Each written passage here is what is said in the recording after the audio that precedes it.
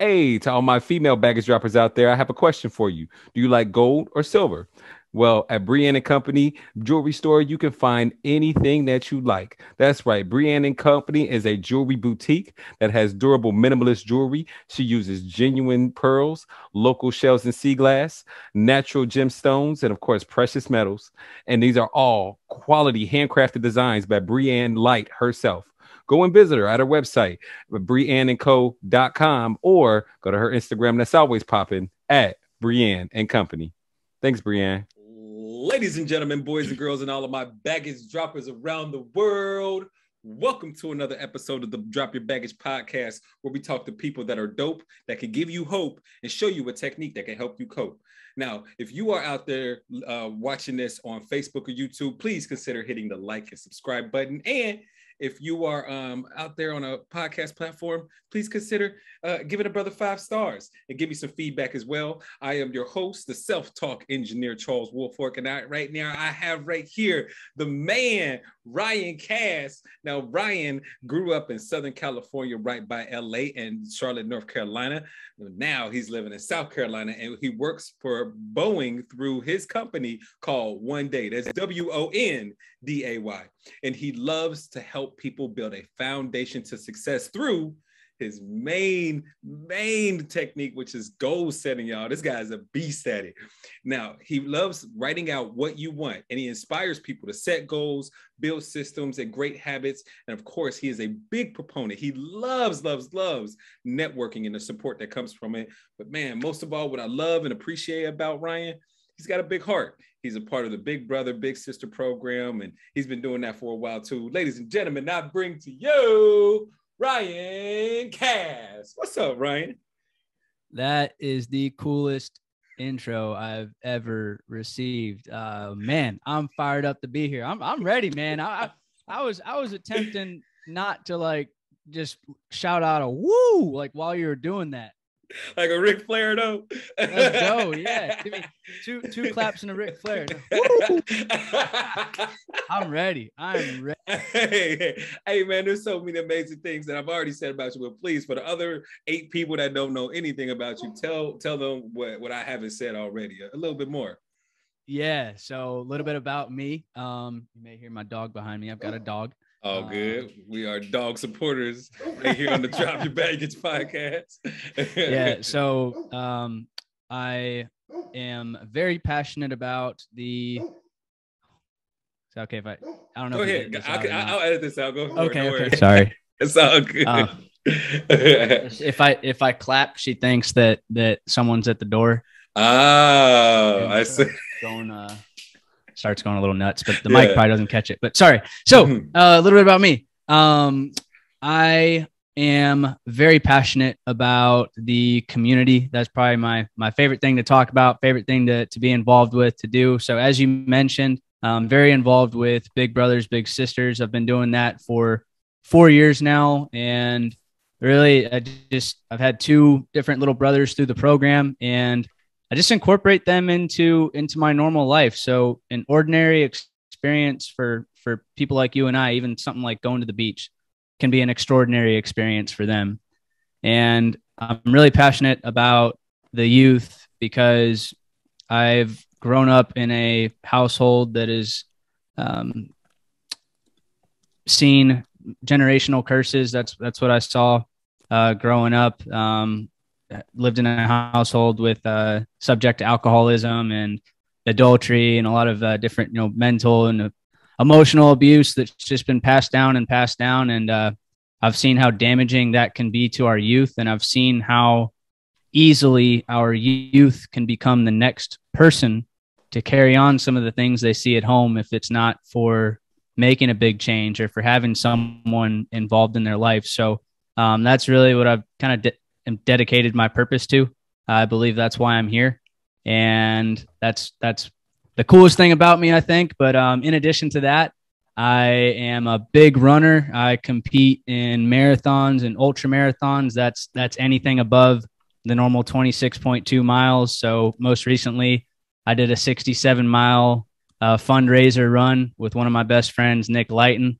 And uh, I love I love challenging myself and I love traveling and uh, that's me, man. I love goals too. And and and my my favorite thing that I do in addition to my, you know, my day job at Boeing, I've got my company One Day, W O N, because everyone has said one day I'm going to have this, one day I'm going to have that, or one day, you know, I'm going to have this job.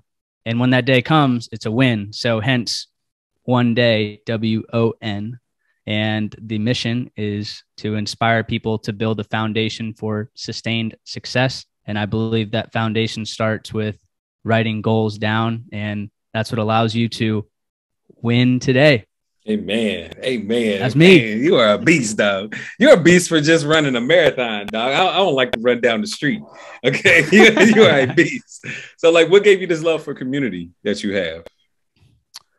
A few things. Um, you know, one, it was seeing that the the impact it's had on me, right? I've I've had I've been fortunate to have some great mentors in my life that are very invested in giving back and seeing that just inspired me to to give back and then also you know why i'm so focused on our youth is because um, you know what i saw growing up is i don't if i can help our another youth or a group of youth um, change the course of their life and their family's life and their future family's life through spending time with them, then hey, I'm I'm all for it. I, believe that's um that's my contribution in making the world a better place. And I just I believe that I love studying leaders and, and leadership and I believe that the best leaders that we look up to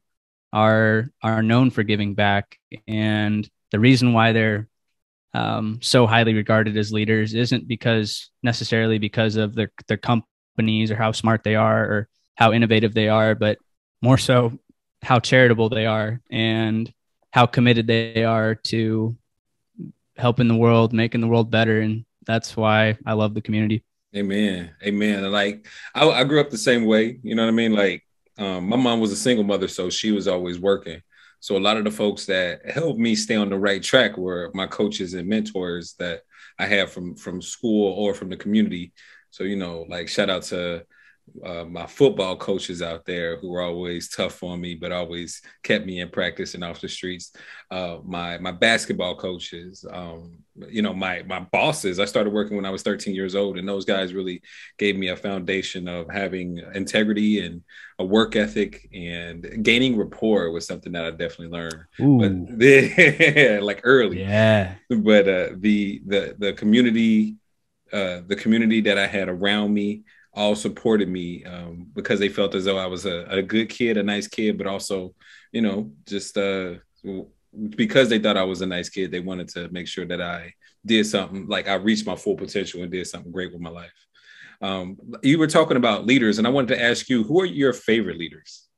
Ooh, my favorite leaders. So, um, one that I talk about all the time, I love Tony Robbins. I think he's a he's a pretty popular name. Um, oh, yeah. But I love his story and what he does to really bring the best out of people. Um, I love his books. You know, Unshakable. I've got right here on my on my bookshelf. But what I love about Tony is that he he started from nothing. Um, and I, and I love those stories when people are are self created be, like like him because what it shows you is that we all have this power within us. We really do. And sometimes it just takes knowing or studying or reading a person like Tony mm-hmm. to know that hey we all have it. So that's why you know I love him so much. Um another one of my favorite ones is uh, David Goggins. You know, and he's he's a little unconventional, and yeah. and I would say his leadership style, but he's just someone that I draw a lot of inspiration from, and especially. You know, I mentioned I love the ultra marathons, and that's one of his big things. But mm-hmm. um, those two guys really mean a lot to me because of you know who they are, and they they back up what they say they yeah. do. Yeah. And yeah. And then my third, if I had to go with a a third, um, my most recent favorite book is Flamin' Hot It's the guy that is by Richard Montanez, and he's the guy that uh, created Hot Cheetos. This guy was a janitor at Frito Lay, immigrant family janitor at Frito Lay, and he learned how to do every job in the factory and had an idea. Goes up to the CEO while he's the janitor, you know, and and says, "Hey, like, how about this hot Cheeto? This would really tailor to you know our our Hispanics that like a lot of heat." Yeah. you know and and my mom's colombian like we and i, I can attest to it we love some heat baby um but anyways he had the idea was bold enough to reach out to the ceo now we have flaming hot cheetos but what's cool about him is that along the way you know he he worked his way all the way up to senior vice president of um, frito lay and pepsi Mhm. is you know he was he's now he teaches people he he gives back to students he yeah. is unveiling his story to inspire the next generation of people. So um, I like bringing him up because he's not he's not a typical like, uh, CEO. You know, he's literally a janitor that and someone believed in him, and here we go, man. So I, I Mhm. love those three. Hell yeah. Like um like um with with Tony Robbins and David Goggins, they're they're two different styles, but they're also the different styles that I, I could recognize on a football team.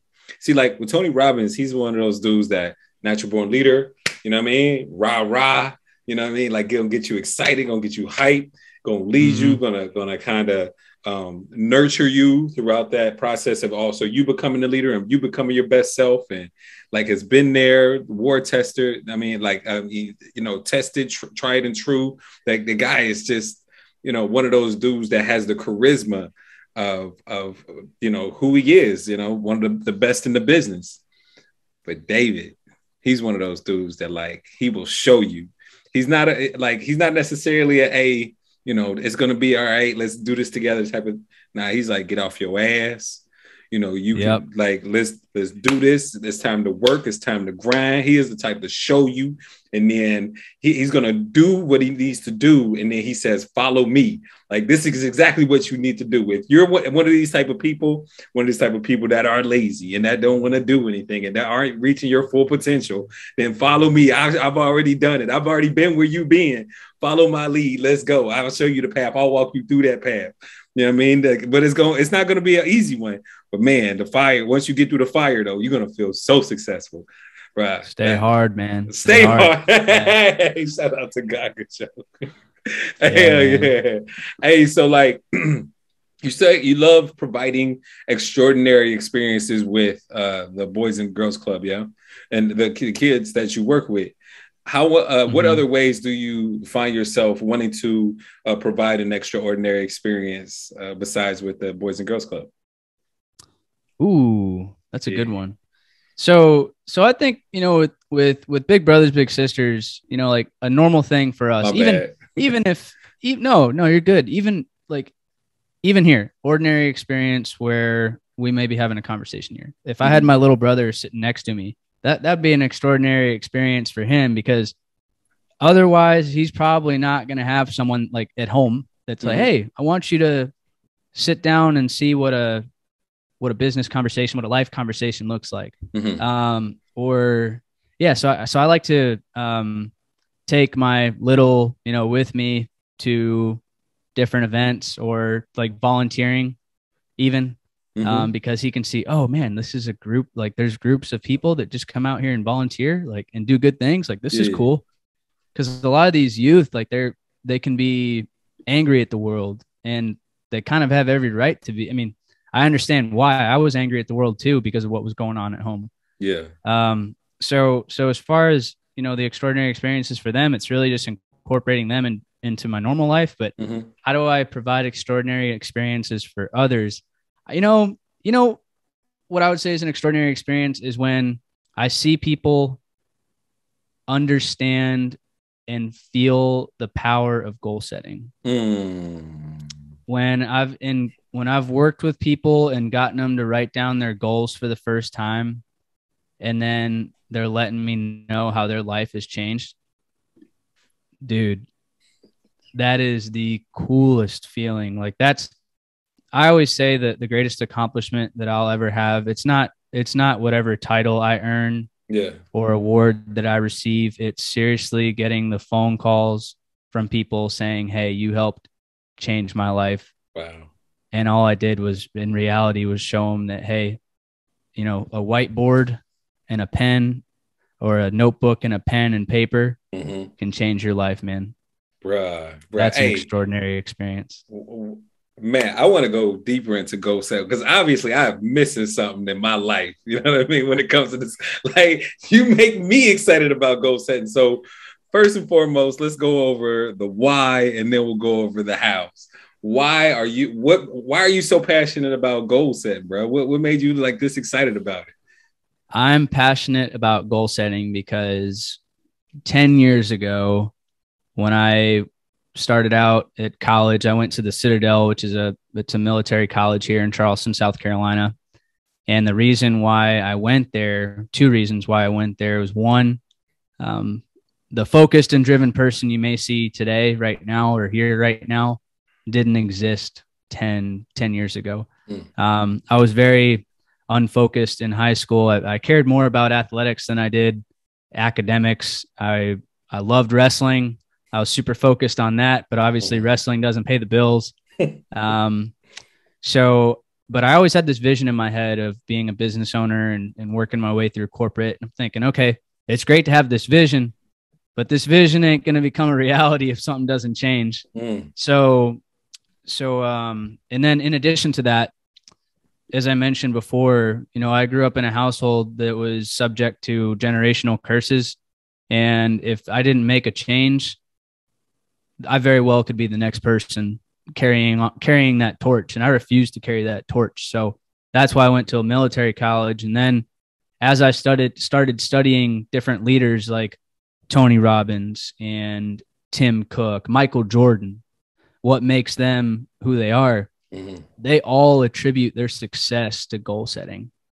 I'm like, okay, you know what? Let me give this goal setting thing a try. Mhm. And I'll never forget. So I started writing down, started writing down my goals in this book right here. This has every goal I've written down for the last 10 years. I call this my success book.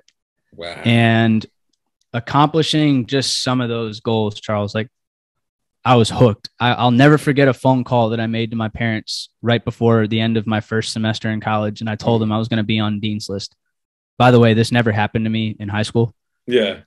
So I called them and told them, you know, hey, and I'd only been gone for four months that I was Mhm. going to be on Dean's list. They didn't believe me. right. And, and I don't blame them for not believing me, but they didn't believe me. And they're like, what the heck did you do differently? Or what Kool Aid you drinking? What crack you smoking? And I was like, these goals, you know, it, and writing it down, man, because what it does is it, it makes you so focused. It shifts your behavior and you just naturally start doing things that align to your goals. And I, I'm addicted to it now, man. Like this is my drug. Yeah. Who who taught you how to um who taught you how to set goals like that? just just going and and researching and then Right. now you know i've read a lot of books on goal setting or i Mhm. listen to a lot of different leaders and um, one book in particular that really helped me out and really refined my goal setting was atomic habits by james clear Word. I Because- just listening to that in the car. I love crazy. that book because Yeah. you know you know what really makes and this took my goal setting to the next level because before when I first started I just started writing a million things down like if I showed you some of the early my early lists from Yeah. like 2012 2013 you just see this massive pile now it's much more organized but really I focus on systems because when it comes to goals what really allows you to accomplish your goals is Mhm. having systems in place so meaning if you have a goal to run 500 miles, Mhm. you can't run 500 miles in a year. If you wake up on December 31st, you're like, oh crap, got to do that one. You're not running 500 miles in a day. Like you have to have a system of running a certain amount of miles per week, Yeah. which means that, you know, a system of waking up every day or most days of the week and putting on the shoes and, and hitting the pavement. So, so yeah, I've been inspired through a combination of just researching different leaders and then spending a lot of time reading books and uh, of people that you know have kind of perfected the craft and mastered the craft. And that's where I am now. Beautiful, bro. So let walk us through it, man. Like, how do we? Because I know you know we we've all heard of SMART goals. Well, I say a lot of us have heard of SMART goals. That's what I know about. But like, obviously, you got a different sauce, man. I want to hear, bro. What's going on? Walk yeah, yeah. So where where it all starts? It starts by asking yourself a couple questions. First mm. off, what's important to you?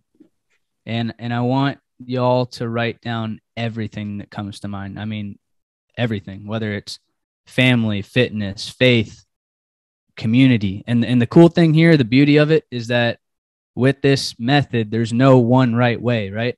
Yeah. So what's important to me, hey, that's what's important to me. It might be totally different for what's important to you. But right. what I'm getting at here, when you put all that on paper and then you see it from there, okay, now what are the like really what are the five things that are truly most important to me? Mm-hmm. So, so looking at this whiteboard, I know that listeners can't see this, but my whiteboard that I have behind me mm-hmm. with all my goals, I have it broken into quadrants. Mm-hmm. So I focus on personal, professional goals, fitness and health, and then one financial, and then one day my business. So I've got five, but those are the things that are most important to me mm-hmm. when I really think about all the different things in life, right? And then from there, the next question is how do I want to make an impact in this world? What do I want to accomplish? Mm.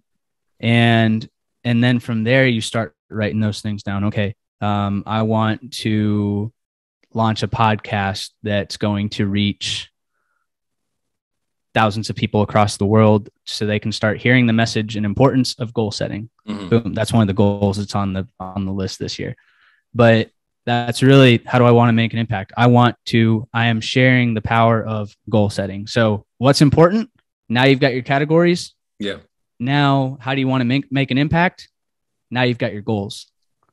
And that's how I, that's how I do it. And then from there, um, yeah, I don't I don't have a fancy acronym yet. Maybe I should, but um, you should have the way I like to say it. Just simply put, if it's December 31st and you're looking at what you wrote down, how do you know what's your measure of success? How do you know if you're successful? Meaning, if you write down, read more books, okay, what does success look like? Is it read 10 more books? Is it read, is it read six books? So you need to have either a quantifiable measure or some sort of timeline. So for instance, um, launch a podcast. Okay.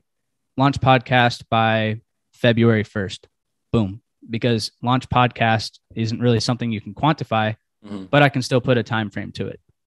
So now when I look back, you know, on December 31st, or actually I schedule a kind of a mini goal setting summit.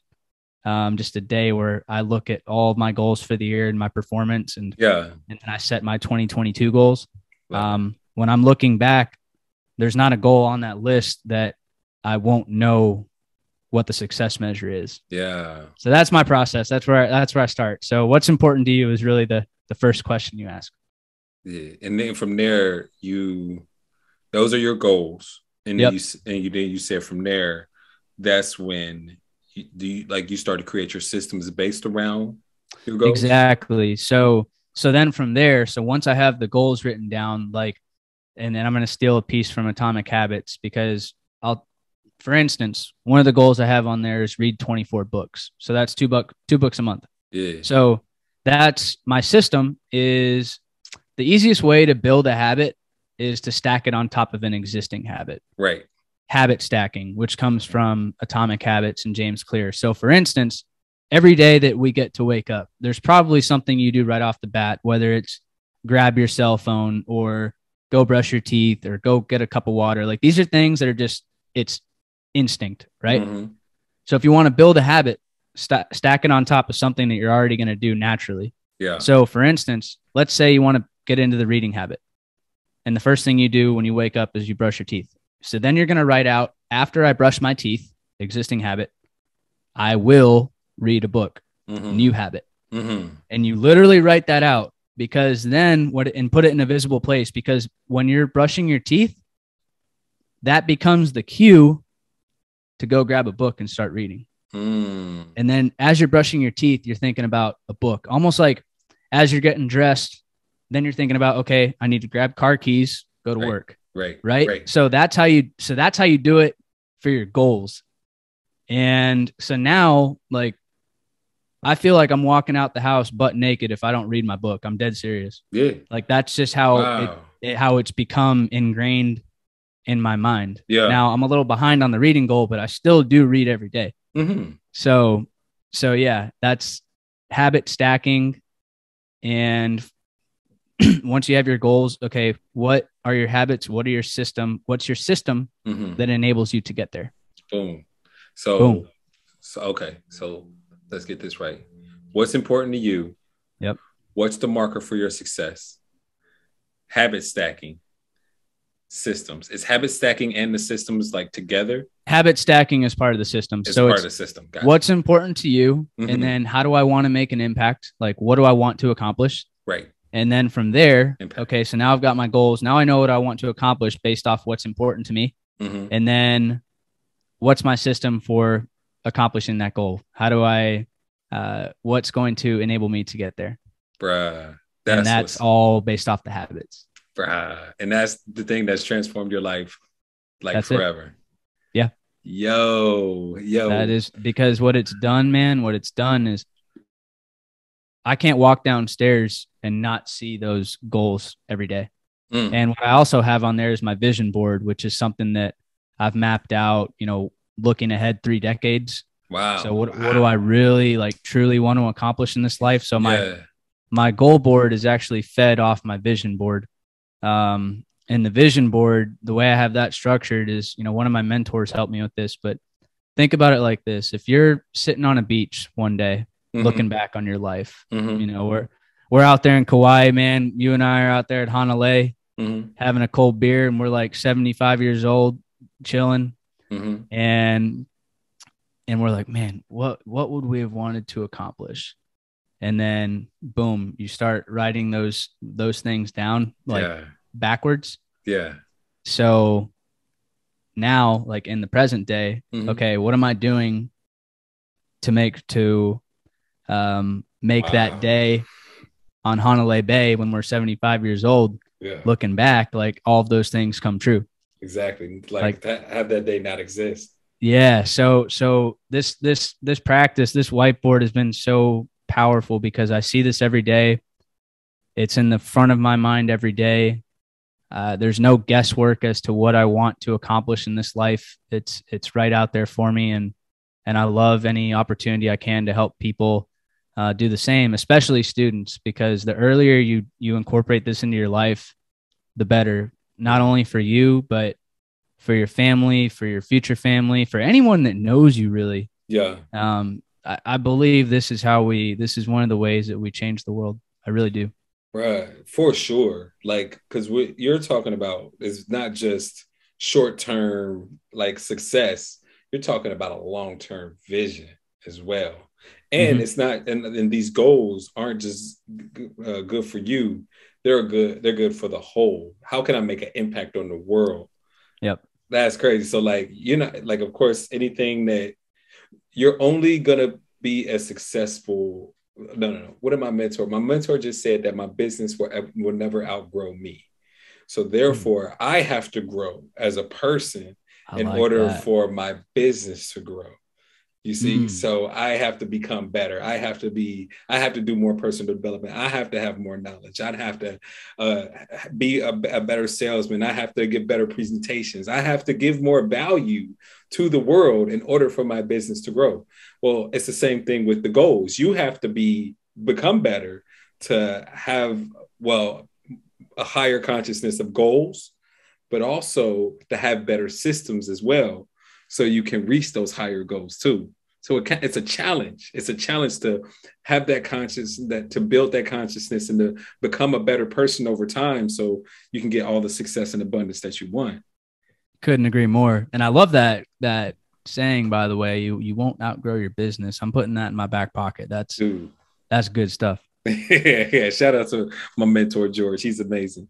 Uh the so like does it give you a certain amount of confidence? Like how has your life changed internally because of your goals and the way that you set them and the way that you achieve them as well?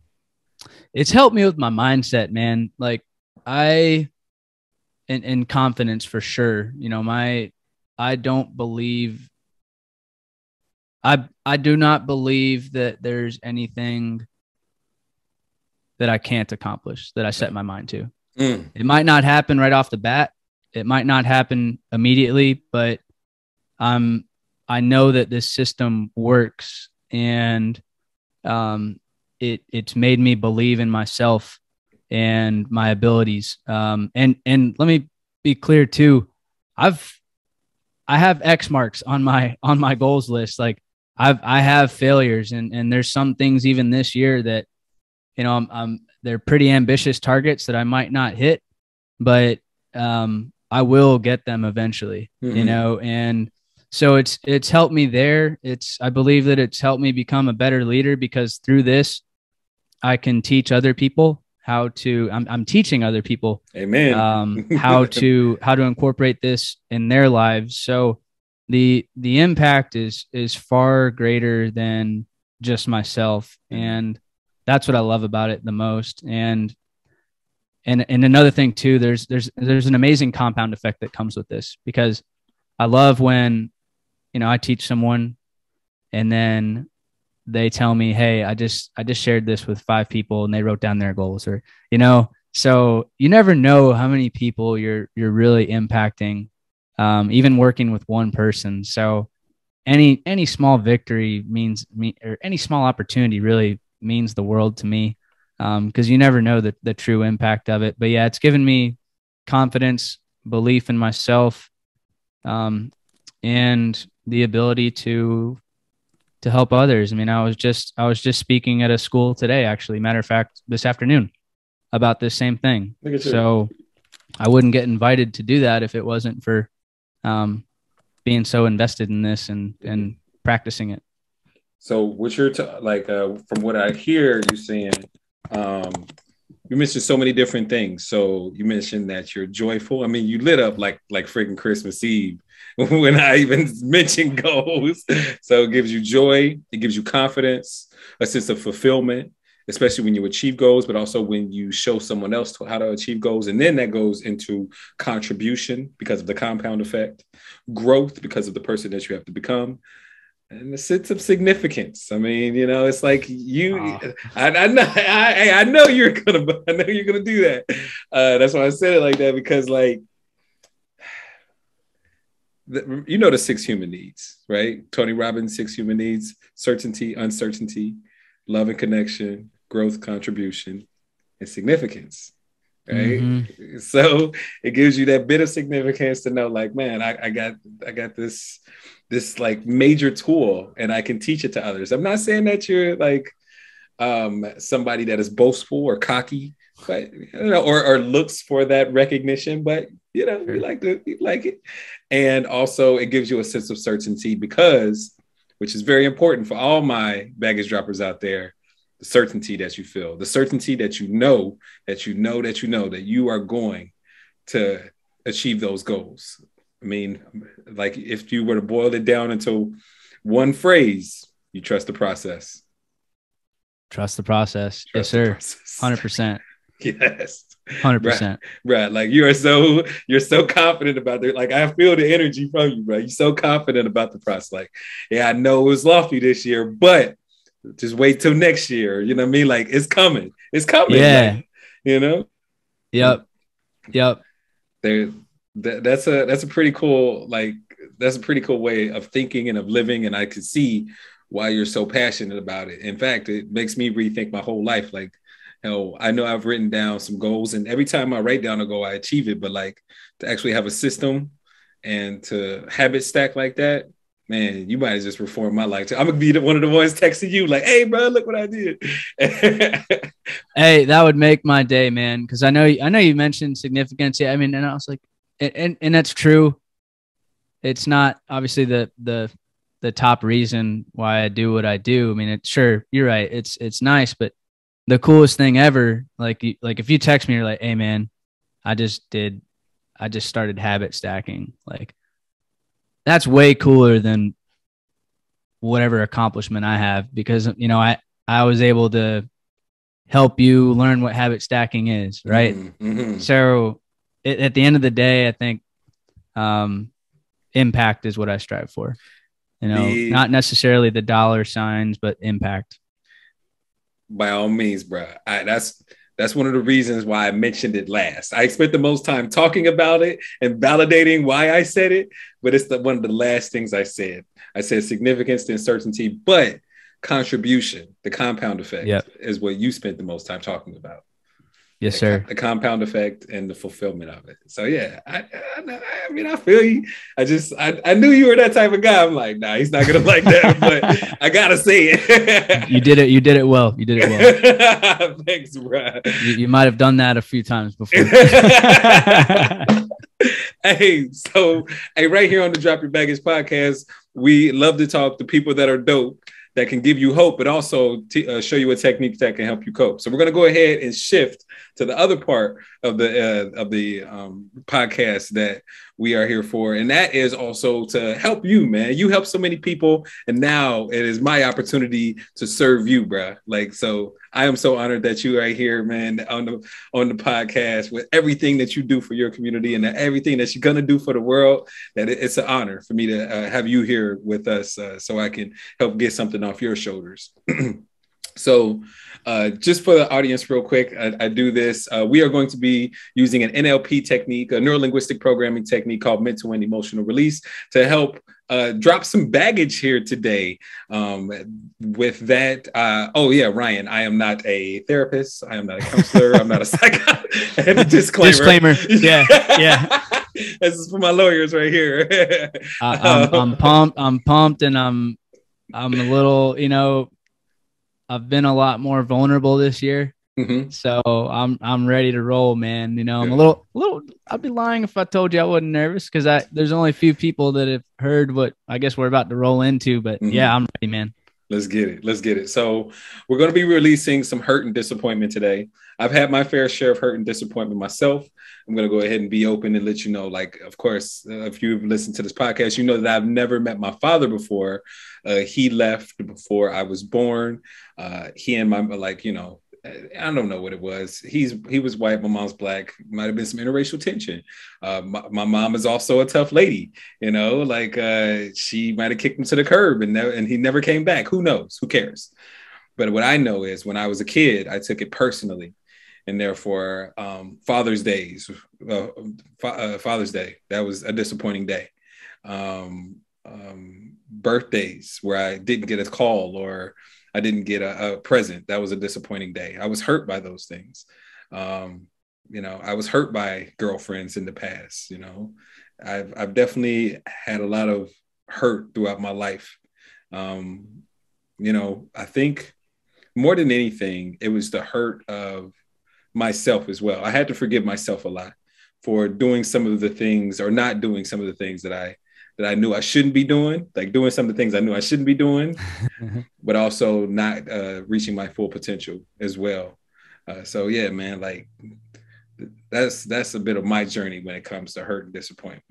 You know what I mean? Man, so I appreciate you sharing that. You're a good man. You know, it, it's always inspiring when people have had various things happen to him. And, and for instance, like I couldn't imagine uh, not having a father, you know, not knowing my dad at all.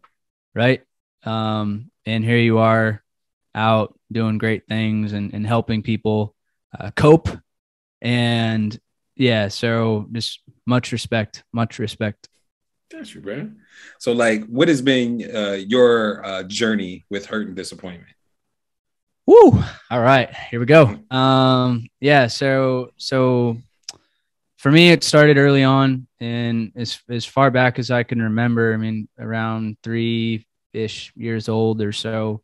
Um, as I mentioned, you know, there there was uh, there's been a systemic trend of alcohol abuse in my family, and anytime that uh, you drink a lot, that leads to poor decision making. Um, so so with that, you know, life growing up uh, was very much um, being the middleman, even from when you know, again, from when I was a kid, uh, between my parents, with uh, dad coming home very intoxicated most nights of the week, and then out partying with people from the restaurant, and and uh, that led to lots of pretty nasty arguments pretty late into the night, and and just being fearful um, of what could happen, and uh, that led to yeah um, adultery, and I thought my parents were going to split early on, and uh, because of all that. Um, in addition to that, just different threats of people threatening, okay, well, I'm I'm just gonna leave now, or you know what, this this won't be a problem anymore because I'm gonna be gone, meaning like suicide. Mm-hmm. Um, so just kind of hanging those things over over over our heads for years and years and years. Um, so I saw a lot of that growing up, and it made me angry at the world, man. I was I was kind of an angry kid uh, and and even going in going into my teen years, and then I I got over that. I I forgave I forgave uh, you know my dad for everything, and and it takes two to tango. Um, you know there was things that that my mom brought into, but um, and then in my adult years, uh, whew, um, my most recent hurt was yeah going through college you know i i met a woman my sophomore year and we dated all through all through college came time for graduation. She was at university of south carolina. I was at the citadel.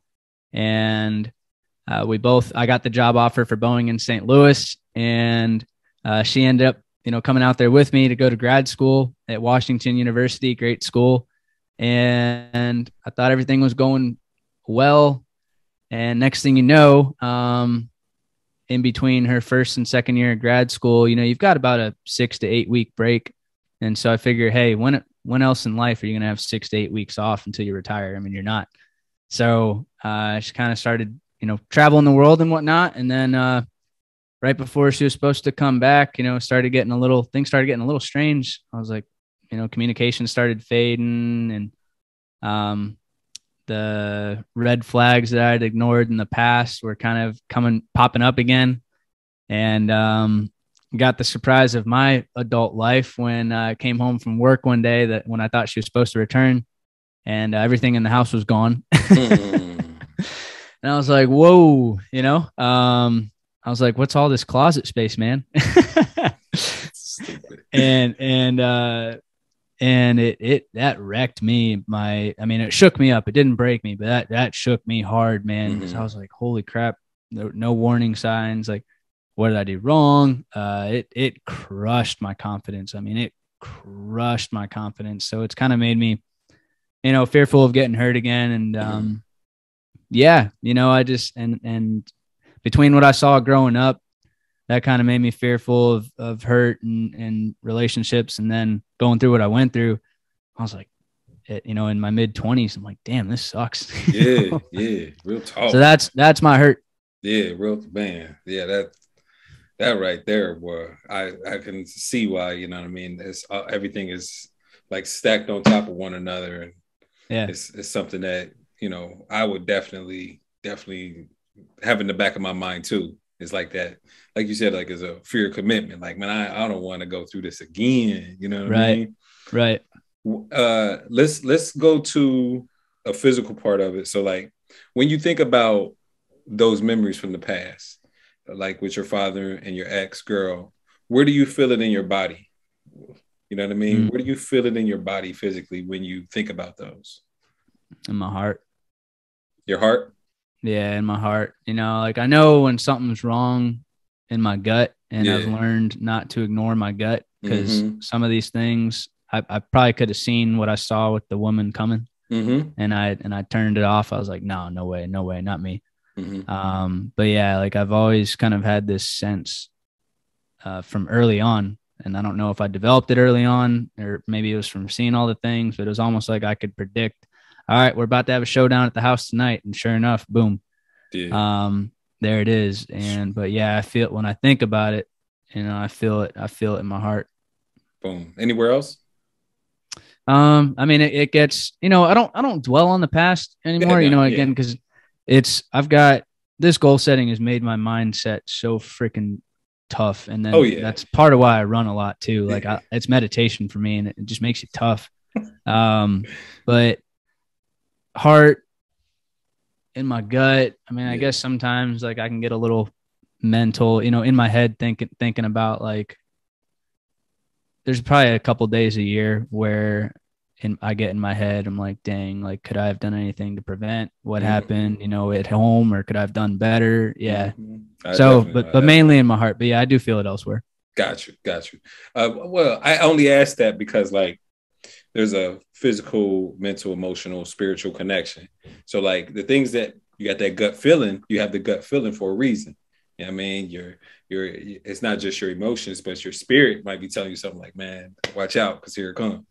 Yeah. So your your intuition has been strong for a long time. So with your intuition being so strong, something that also like that, you know, you are great at, I could say controlling is the physical part of you because like the mental physical part of you because I mean you're an ultra marathon runner, but I could I, I hate four five miles, dog. 20 something, man. Forget that.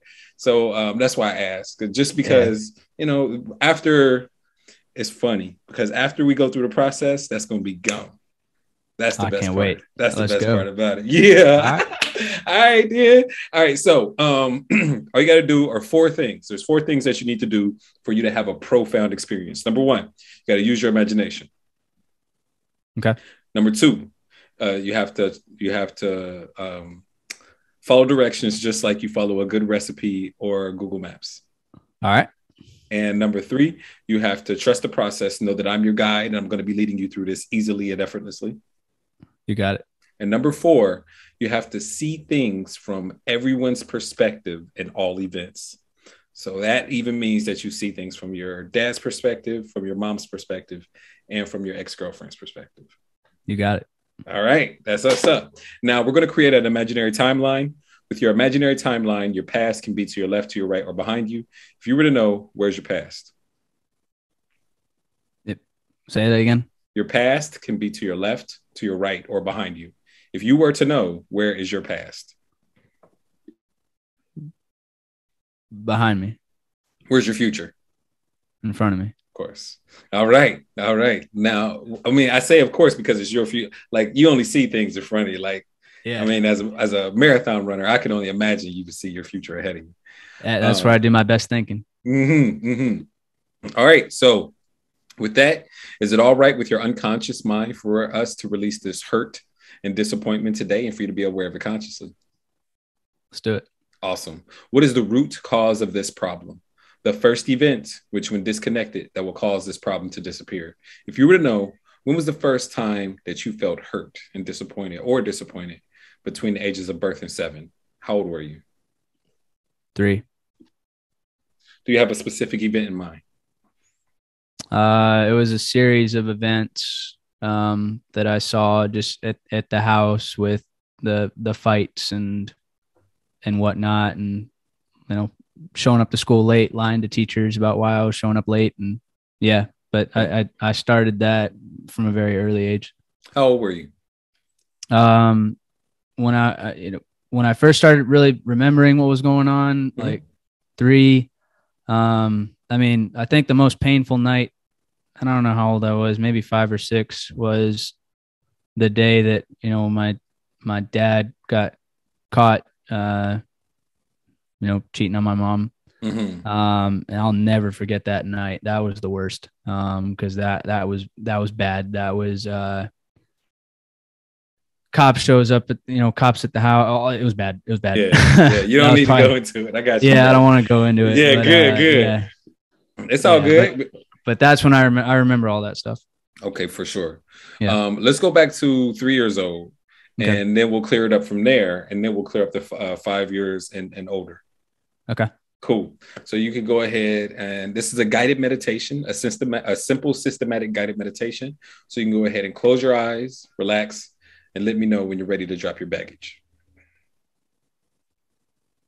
All right. All right. Now, all right.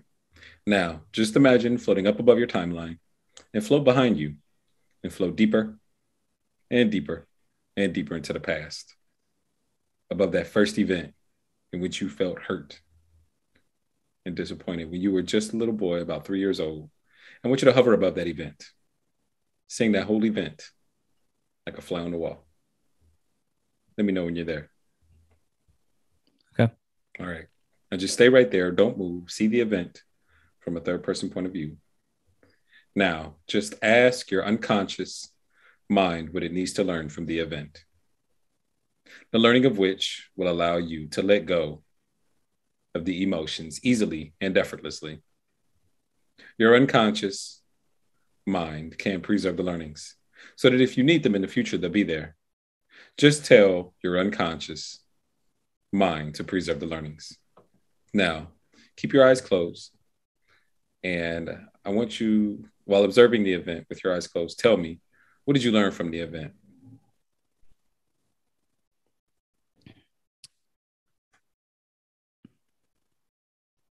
That I'll never carry that on in the future, what I saw.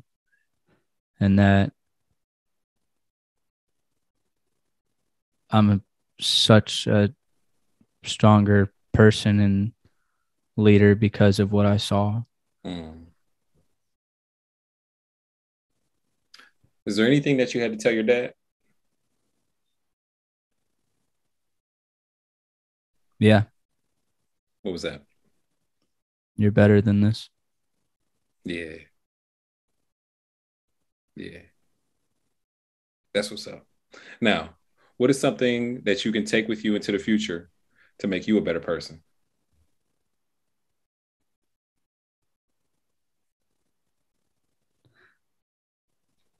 Focus on being the best version of myself, not just for myself, but that's what's going to allow me to ensure that the course of my family and future family never looks like the course that I saw early on. That's right. hmm Very good, man.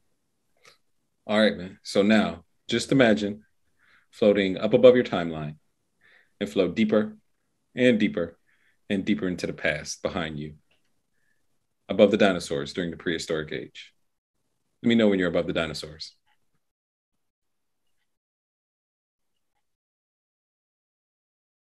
All right. All right. Now, as you're above the di- dinosaurs, just imagine floating deeper and deeper and deeper into space to where space and the atmosphere connects. And imagine your timeline is the size of a fingernail. Let me know when you're there. There. Okay, listen closely. Float very, very high above your timeline, above each and every event in which you felt hurt and disappointed from birth until now in chronological order. Don't skip one event that has a charge on it. Preserve the learnings and let go of all the hurt and disappointment all the way back to now. Go. I'm good. I'm strong. awesome. Flow down into your body and open your eyes when you're ready.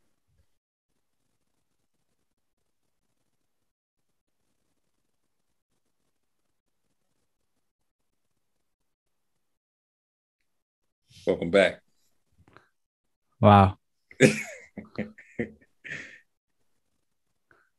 was cool. Good stuff. I've never that? I've never done anything like that. I've, I've listened to some guided meditations, but I've never actually done it like live and um wow. I just feel light, man. Like Yeah. in a good way, not lightheaded, just like light. Like like I just ran, I just lost a bunch of weight. Like I'm like all the uh, everything on my back, you know, the baggage is gone. Yeah. Drop your baggage, right? Was, yeah, man. That was cool. That was some heavy, heavy stuff that you were holding on to, huh? Yeah. Yeah. Yeah. I've never thought about it like that. Wow. Told you that, that that mind, emotion, physical, all that it twines in together. So you don't even, but you don't even notice. Yeah. kinda- I like this. Uh, I, I I still like this um, cartoon. Uh, it's, it's called Dragon Ball Z, and they used to wear like weighted clothes. It feel like that, like you're just used to wearing it now, you know. And Yeah. Now that it's off, it's like, oh, God. Now, is that something that, you know, I could, I can do, you know, more frequent, like on my own, or is that something that like like I can listen to it? Like like I'm gonna listen like when we when this recording comes out, like I mean, I guess I can ru- just listen and run run myself through it again, right? Mm-hmm, mm-hmm. That's cool. That's cool. That's cool. yeah, heck yeah. Hey, for all you guys out there, though, let me talk to the audience real quick. For all you guys out there, please don't try this at home. If you want to try it out, go to charleswoolfork.com. Let me lead you through it. But hey, I, will I'll tell you more after this is all this is done, right? yes, absolutely. Yeah, yeah. Y'all need to go through this live for real. I was just looking at this like, man, like I want to that's cool. That's cool. I'm speechless. hey, so let's go ahead and test it out to see, make sure that everything is all straight. So, um, so do you smell bacon? Do I smell bacon? Yeah. Not right now. Okay. I asked that to get Am I supposed off. to? No, I asked Oh. that to get your mind off the meditation. No worries. Oh. Can you uh, remember a time in the past in which you used to feel that old emotion? And go back and notice if you can feel it, or you may find that you cannot. I mean, I, I I can remember what happened, but I'm Yeah. not like I doesn't really. There's not like when I thought about it before, then I kind of felt like the the heart or the the mind or the gut or the weight. I'm like, no.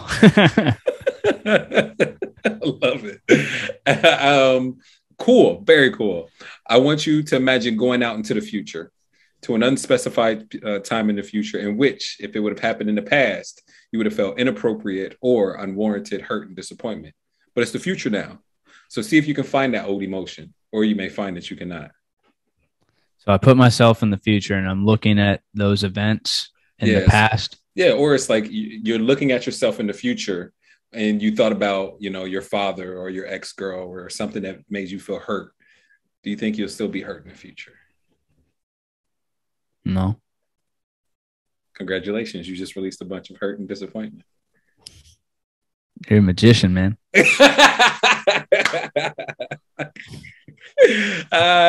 thank you so much. Hey, so a lot of people that, that have listened to or that are listening to this podcast may not have gone through it. So please uh, describe like you know how you feeling and like anything that you you uh, found that was different or whatever. You know what I mean? Like let's just talk about it. Yeah, I mean, I've never done anything like that, so I just feel a huge release. Not that, man, I didn't even feel. It's not like I like like I mentioned. Like these are things I don't think about often, right? Because Mhm. I mean, I'm so in, that's why I'm so intentional about doing what I what I do with the goals and and helping people. But I didn't realize, I guess, the weight that I did have. You know, I almost feel like I dropped a weight that I didn't know I was carrying. Mm-hmm. Is kind of how I feel right now. Mm-hmm. Um, yeah, No, no, keep going. and and I feel I'm attempting to look back and really like draw that same emotion that I used to feel when I did think about those things, and it's gone. I mean, not to say, like I said, it's not like I just uh, uh, erased it from my memory, and I don't think that's the intent of it. But when I put myself back in that spot, yeah, I'm, I, I'm there's nothing there. it's it's it's kind of like um dynamite without the wick. So if the memory is the dynamite, right, and then the wick is the negative emotion. Anytime that you feel that same negative emotion, it get that's the spark of the wick, and then boom, you feel me? Yeah, But if the uh, if the memory doesn't have the emotion, you put the the wick out of the dynamite. All you have is dynamite, but it's not effective. You can throw Mhm. it around. You can do whatever. Don't put it near fire. you know, Yeah, right, right, right. but, you know, you can throw it around. You can do whatever, and it's not explosive anymore. I feel that. Yeah, yeah. All right, bruh. So you you are so interesting because number one, your vow to break generational curses, it kind it kind of like became even more enhanced because you're like, I'll never do this to the generations to come. Like, walk us through that and how you felt with that. Just how I felt through the through the meditation. Like I just feel like I feel like the the hmm, I feel like when I make that statement now, it's just even further emblazoned in stone, man. Like Mm, this is this is happening. Like and this is real.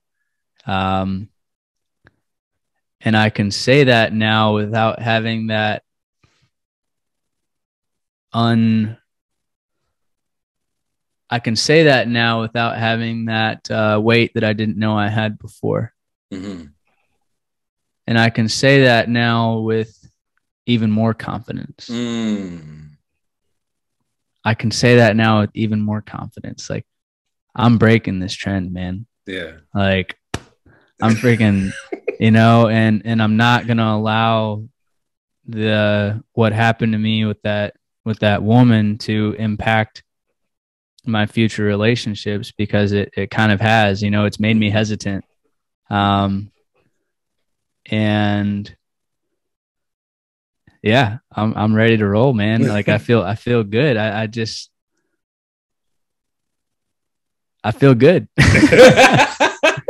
that a common trait, a common side effect of going through this process on the Drop Your Baggage podcast is um uh, a, a speechlessness. Yeah. it's like I don't, I don't know what to say. Like you know, um, Yeah.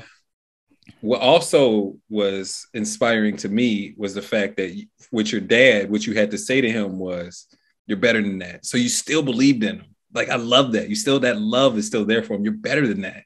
You know. Like Yeah, yeah. explain I mean- explain us your mindset around that. Yeah, man. You know, let me make one thing clear. Like I, I love my family and mm-hmm. I'm I'm tight with my family and and mm-hmm. Despite what happened, I mean, hell, my dad and I we still joke around, man. Like I don't and I know he's better than that. He is better than that. I, he's you know, I've learned a lot from him.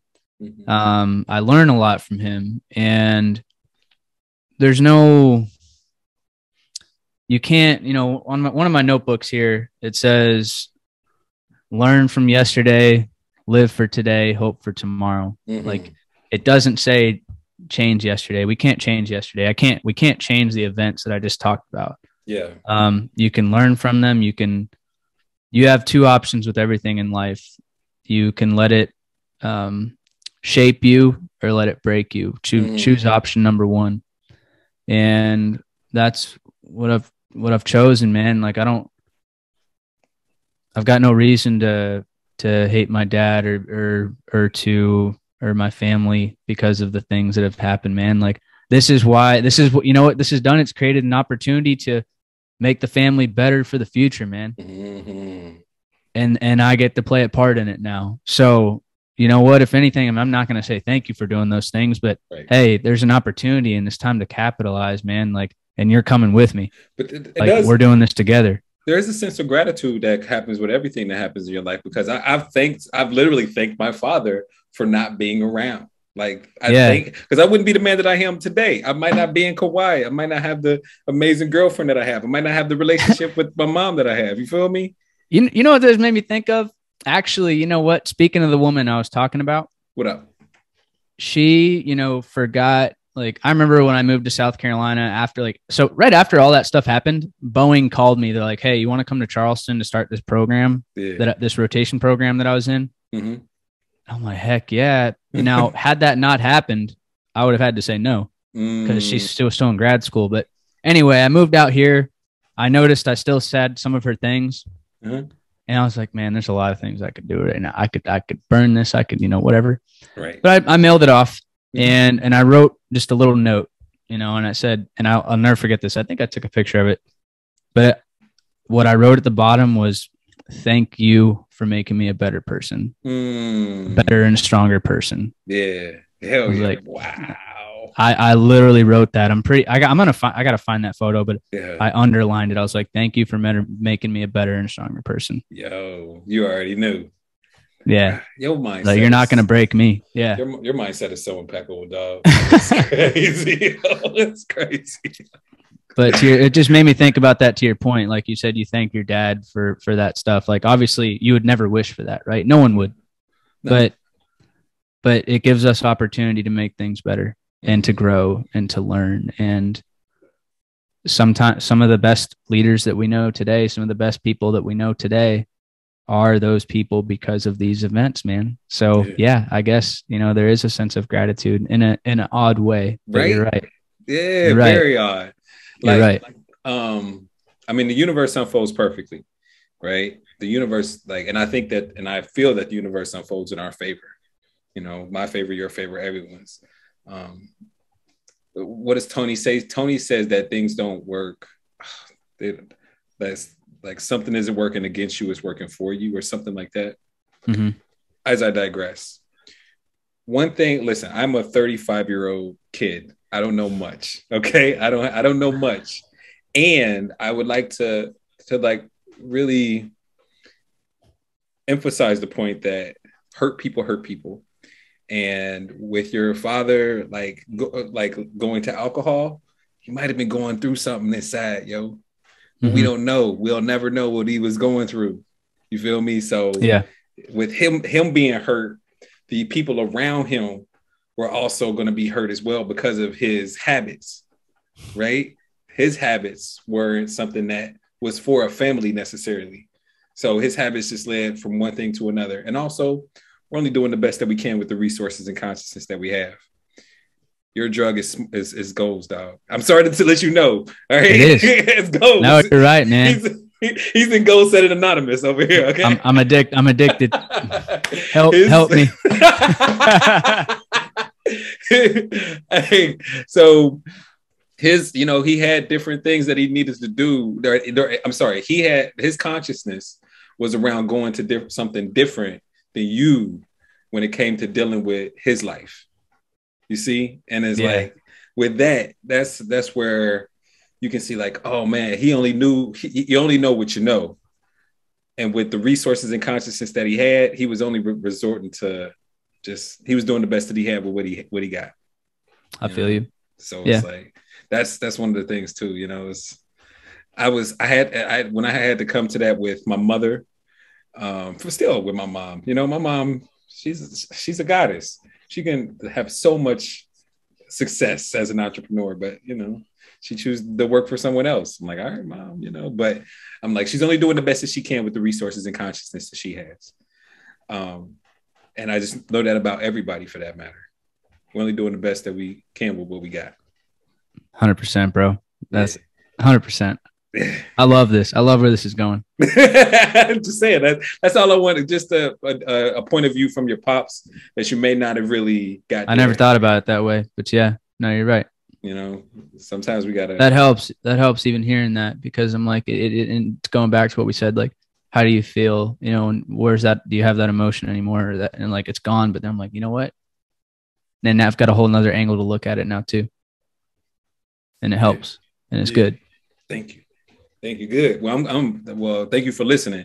You know what I mean? That's why I'm like, Yeah. I, don't, I don't know much, but I do know these little principles. You know what I mean? Yeah, man. Uh, um, bruh, I'm just, I'm, I'm super happy for you that you showed up for your divine appointment. Like, thank you so much for allowing me to serve here on the Drop Your Baggage podcast. Thank you. Thank you. This this is um I didn't really know what to like like I said I had a whole mix of emotions, right? I mean, I was fired up. I am fired up. Um but then I'm like, man, I don't know how is this going to make me feel? What's going to happen here? And this is this, eh, I, hey, the drop your baggage name makes even more sense. 100% sense. Like like I was like, what am I supposed to feel like? What I don't feel like I have like baggage. Like I don't, I don't, you know. But I, I just appreciate you, man. Like this was, this was amazing. It really was. And and folks listening, you should go through this. And I'm gonna tell my people about this.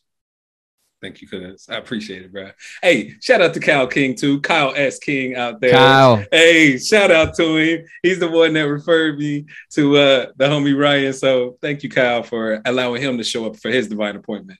And uh, hey, I'm uh, please, Ryan, before we get up out of here, give us. I mean, you've given us so so many dimes. I mean, so many nuggets. Give us one more, man. uh, One more word of wisdom. oh man, man, it's tough. After after all the wisdom you just dropped, you know, you know,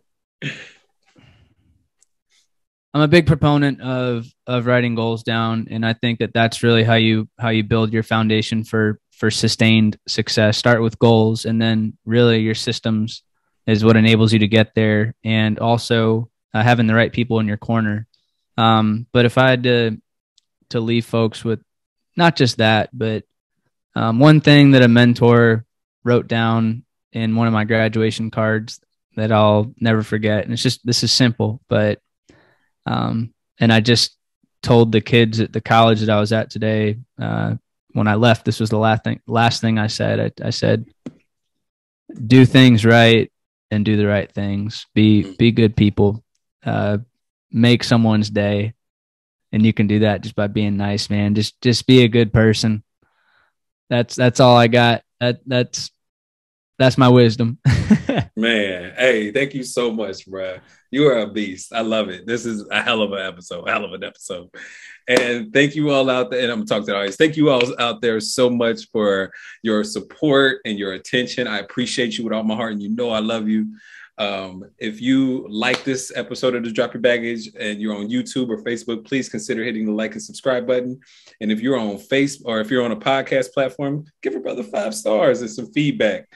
Uh, once again, right here on the Drop Your Baggage podcast, where we talk to people that are dope, that can give you hope and show you a technique that can help you cope. I am your uh, host, Charles Woolfork, the self talk engineer. Until next time, ladies and gentlemen, take care of yourself and take care of one another. Peace.